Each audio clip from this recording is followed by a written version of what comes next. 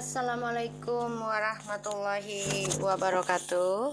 Hai guys, kembali lagi di channel aku Laki Tarot MS Hari ini aku bacakan untuk Libra.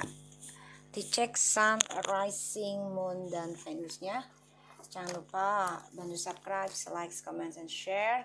And skip iklan Jangan percaya tarotnya 100% karena tarot bukan Tuhan jadi bijak dalam menonton tarot aku. Gunakan dengan baik energi spiritual yang aku tebar di kartu tarotku ini.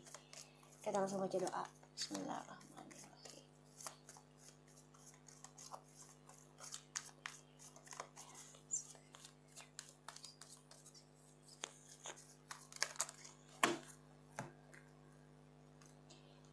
Six of Sword itu kamu banget ya Libra. Aries Sun air sign langsung. Uh, sebagian dari Libra ini coba untuk move on atau coba untuk healing juga karena masih berat melepaskan kenangan di masa lalu ya Libra ya. Sebenarnya kamu tuh orangnya juga uh, gagal move on. Ya, orangnya overthinkingnya terlalu dalam juga dan aku ngeliat memang Libra masih terperangkap ya dalam kenangan kisah masa lalu. Dan ada keinginan Libra sebagian ingin kembali lagi ke kisah masa lalu. Tapi sekarang Libra dalam processing penyembuhan ya. Jadi kamu ingin ada traveling ada healing gitu ya energinya. Ya kita lihat dengan Libra dicek sun rising moon dan venusnya. Sini ya sedikit.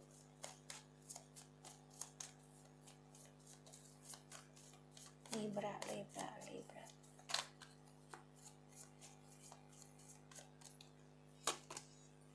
So ya. Yeah. five of pentacles. Tuh page of cups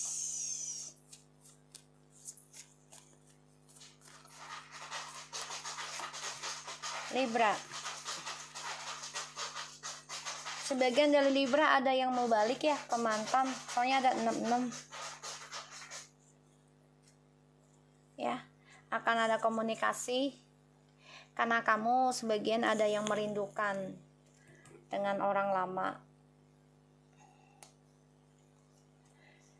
Karena sebagian dari Libra nih masih terperangkap dalam kestabilan yang terbagi-bagi. Ya. Masih menutupi komunikasi dengan seseorang. Ya, karena adanya pihak ketiga aku ngelihatnya. Dan di sini Libra ya ada yang stres memikirkan ya tentang keuangan, tentang kestabilan hidup ya. Dan sebagian Libra ada yang masih kangen rindu ya dengan kisah masa lalu dengan orang di masa lalu. Dan ini membuat kamu ya ada keinginan untuk kembali ada. Tapi butuh waktu.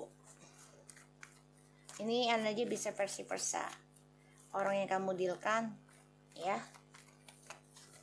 Kita lihat six of swordnya tuh ya. Libra selalu diberikan banyak pilihan ya.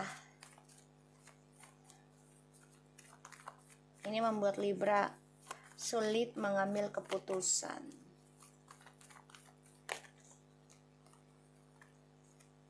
Ya. Dan ujungnya akan saling menyakitkan kamu harus bisa mengambil keputusan yang terbaik ya Libra. Tuh. Pikirkan dengan baik. Ya, mengambil keputusan yang terbaik dan di sini kamu banyak keraguan ya, terutama untuk mengendingkan atau menjujurkan. Selingkuh itu memang indah, nikmat tapi sesaat. Ya dan ini menghancurkan kesuksesan. Jadi Libra kalau aku sarankan uh, kamu belajar tentang berbagi yaitu berbanyak sedekah ya agar lepas dari kesalahan kamu di masa lalu ya ini bisa versi versa energinya. Dan kamu pikirkan gimana caranya untuk bisa ending dengan kejujuran. Walaupun menyakitkan ya menghancurkan. Kita lihat the five of pentacles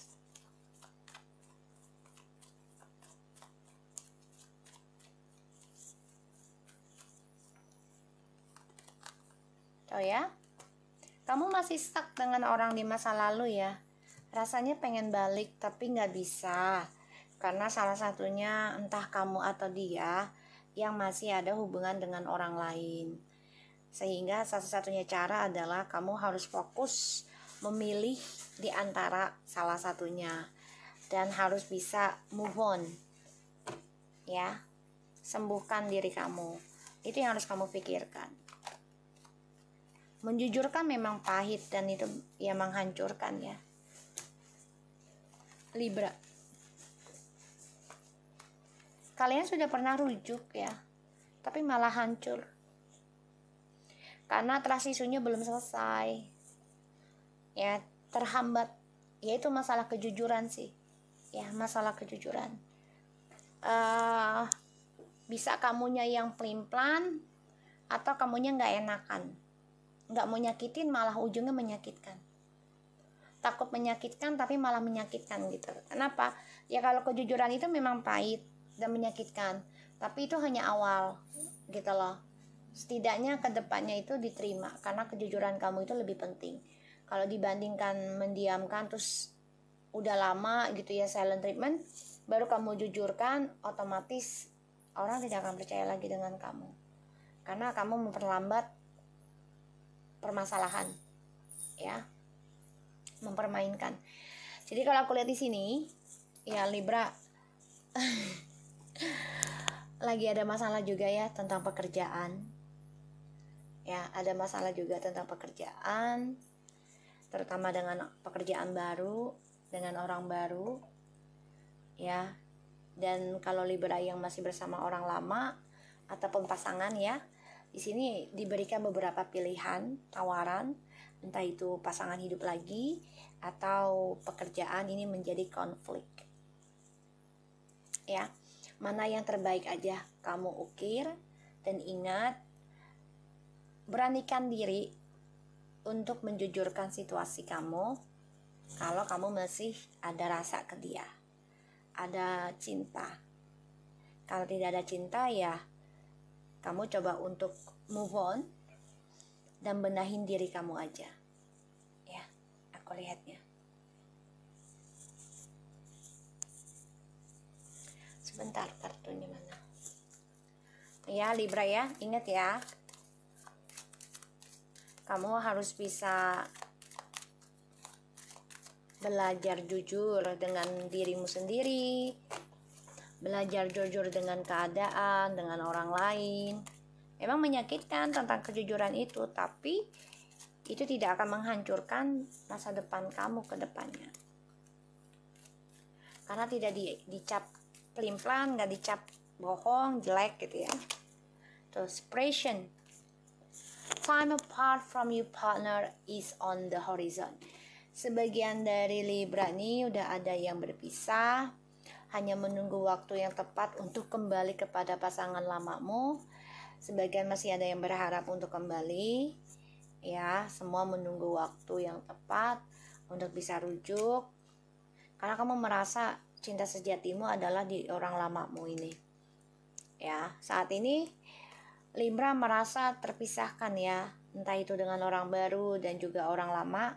Kenapa? Karena ya memikirkan gimana caranya fokus dan uh, menjujurkan di antara dua pilihan. Jadi kamu diberikan keraguan sih. Saat ini masih ragu banget. Tapi kamu harus nekat ya. Nekat keluar dari keraguan kamu ini. Kalau kamu mau bahagia. Kalau memang kamu merasa kangen dengan dia ya udah nekat aja. Hubungin dia. Ya. Aku sih kamu bakal hubungin dia. Tapi atau dia hubungin kamu. Ya tapi ya itu perdebatannya adalah tentang kisah masa lalu dan uh, yang sekarang ya jadi akan ada pertengkaran ya tentang perbuatan kamu di masa lalu dan sekarang. Oke, okay, so Libra, aku harap ini bisa resonate dan membantu kamu tetap semangat dalam menjalani hidup. Jangan lupa bantu subscribe, like, comment, and share. And then skip iklan channel aku. Lagi terus and take care of you guys. Assalamualaikum warahmatullahi wabarakatuh.